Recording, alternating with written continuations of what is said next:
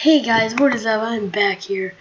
And yes, it worked, guys. I made myself a custom little world here. I don't know why there are two Greninjas.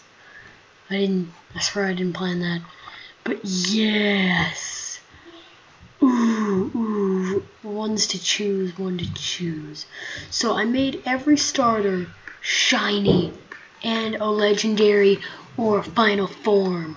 So what we're definitely going to do here is we're definitely...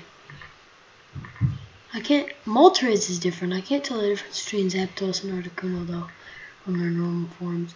Alright, so we're definitely going to grab first Greninja.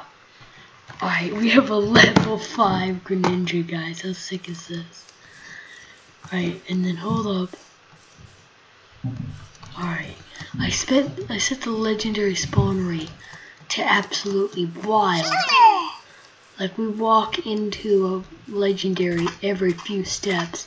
So I'm just giving them a few seconds to spawn in. And as you can see, I'm in creative here. I'm gonna go into rare candies, and uh, you'll see. I'll be right back after I uh, get this guy to his max level. Talk about no peak ninja. I think I've found one. Sorry for the lag, guys. It's because I have so much stuff installed. Look at this. Level 500 Greninja. Let me show you his moves. Alright. There was like legit so much lag because of what I did. Don't worry guys, the series probably won't continue as a mess, like it'll continue as a mess around series, a little side series. Well, I put a bunch of clips together of this. You guys probably won't see this for a while.